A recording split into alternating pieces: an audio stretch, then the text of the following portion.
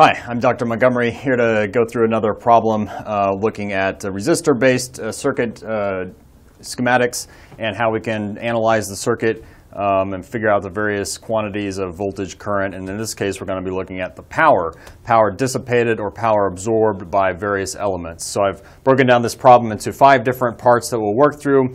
Uh, so what we want to do is evaluate what is the power being absorbed or dissipated by each one of these given elements. So the 3 ohm resistor as indicated here, the 1 ohm resistor indicated here, the 3 volt source should be right here, the 10 volt source here, and the 5 amp source uh, 5 amp current source right here.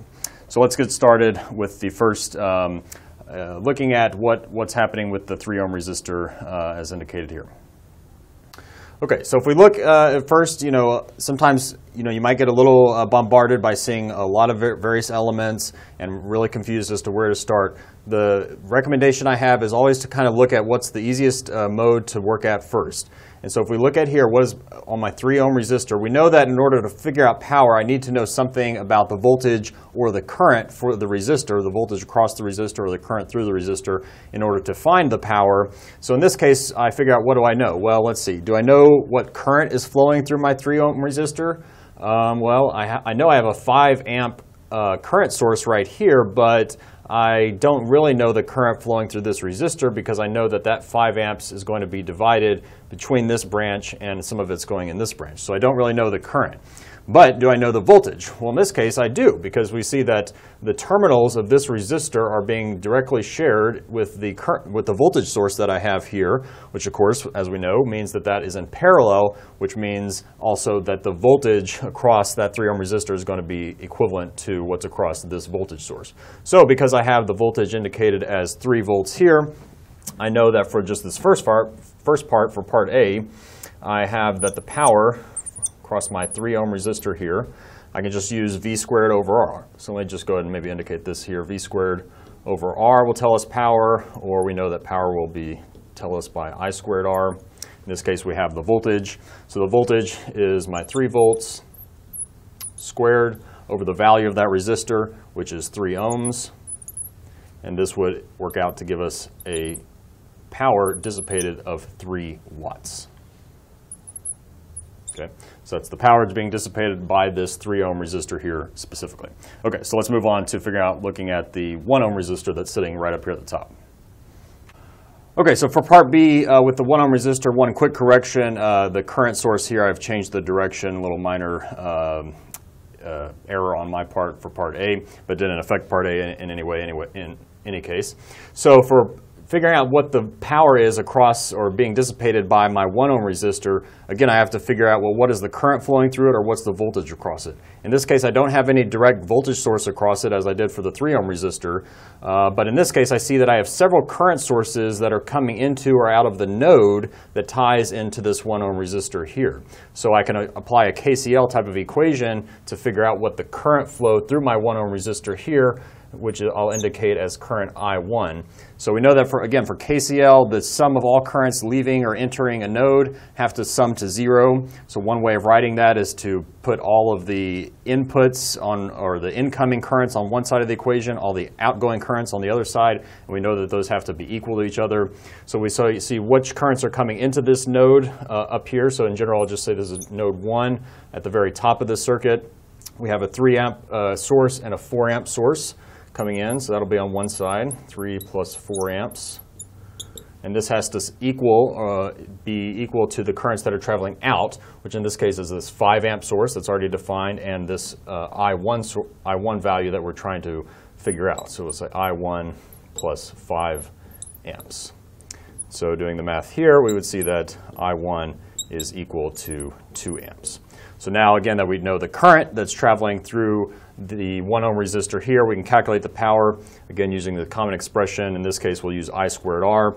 So the power through my 1 ohm resistor will be 2 amps squared times 1 ohm, which would simply be, of course, just 4 watts, right? So we have 4 watts of power dissipation from my 1 ohm resistor there. Okay, so let's move on to looking at uh, part C, which is the 3 volt source indicated right here.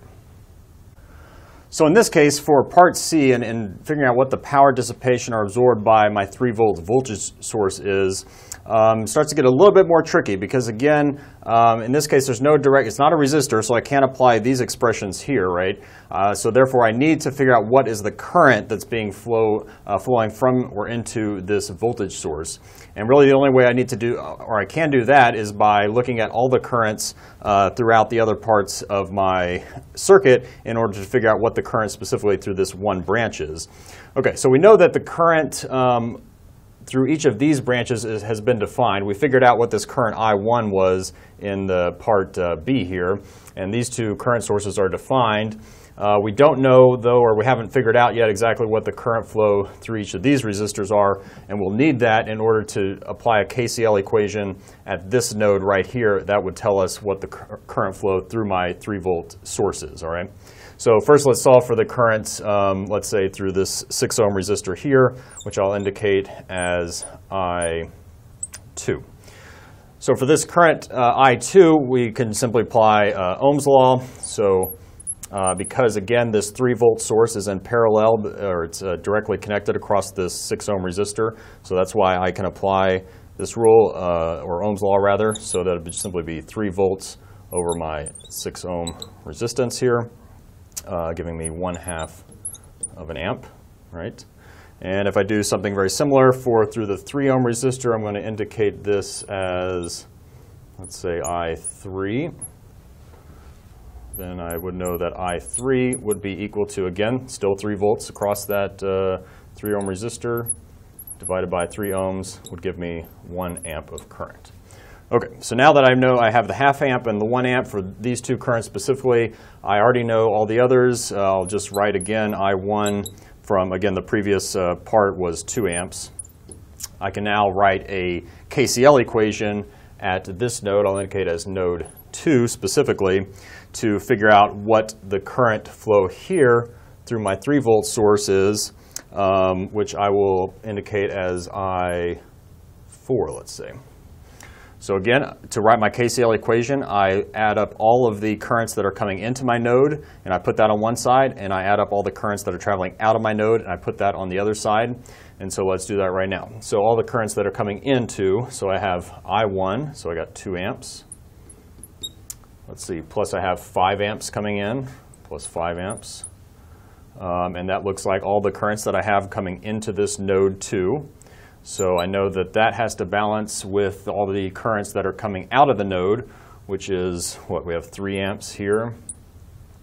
Um, coming out, I have I2, which is half an amp, so plus 1 half amp, uh, plus I4, which is our unknown,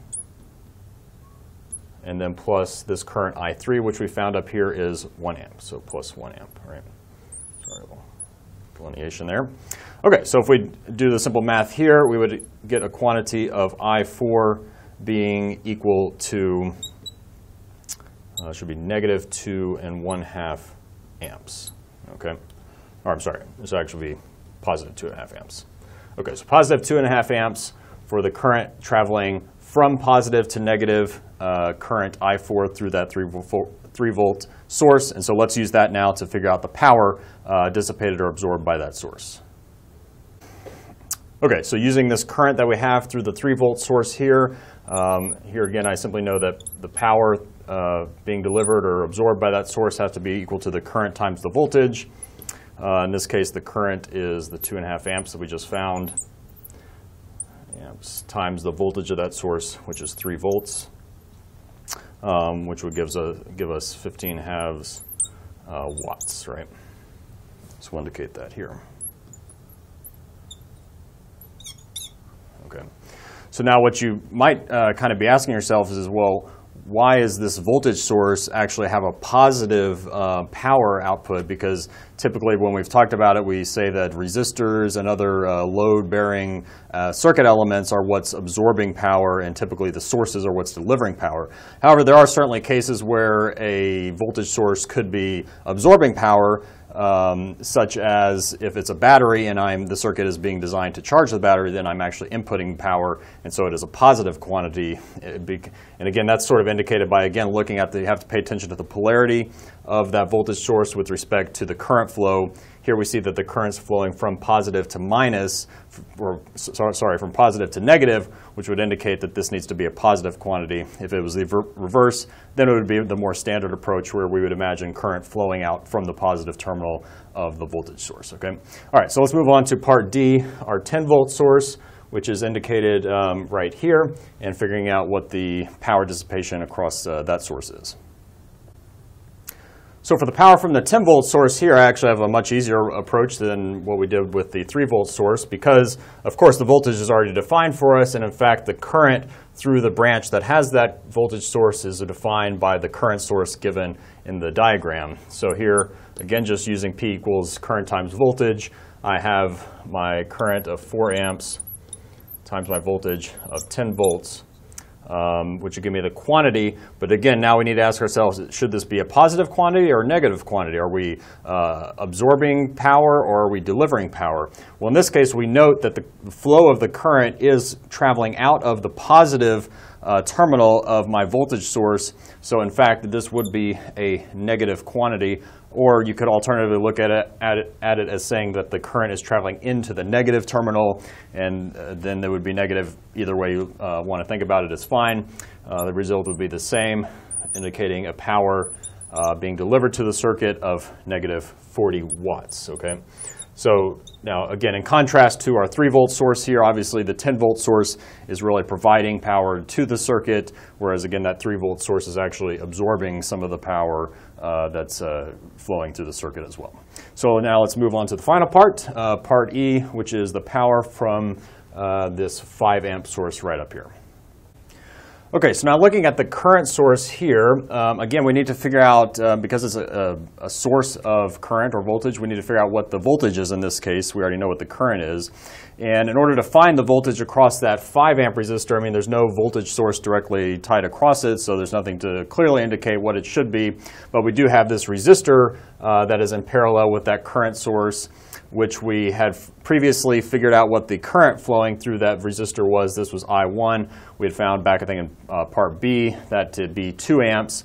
So if we can figure out what the voltage is here through that 1 ohm resistor, uh, simply using Ohm's law, that would then tell us what the voltage is across our uh, 5 amp um, current source, right? So of course V equals IR for Ohm's law, so 2 amps times our 1 ohm resistor gives us the value of 2 volts for, uh, that's 2 volts here plus to minus, okay, across that current source.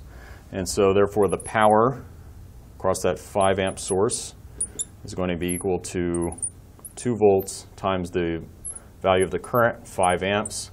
And again, we ask ourselves, well, should it be positive or negative? And in this case, we see that um, because of the relationship of the polarity of the voltage, to the, uh, well, actually, yeah, looking at the current flow that we had defined through current I1, and then relative to the polarity of the voltage, that would indicate that this should, in fact, be a positive quantity, which would tell us that this is then 10 watts of, being, of power, again, here being absorbed by the source rather than uh, delivered, as in the case from part D. Okay, and so then this, uh, yeah, by doing everything that we've done, we've basically solved for all the currents and voltages in this circuit, and then again gone the step further to figure out what actually the power is versus the various elements. Of course, we didn't go through every single element, but all the rest of them should be pretty self-explanatory from there. So thank you very much. Look forward to seeing you on the next video.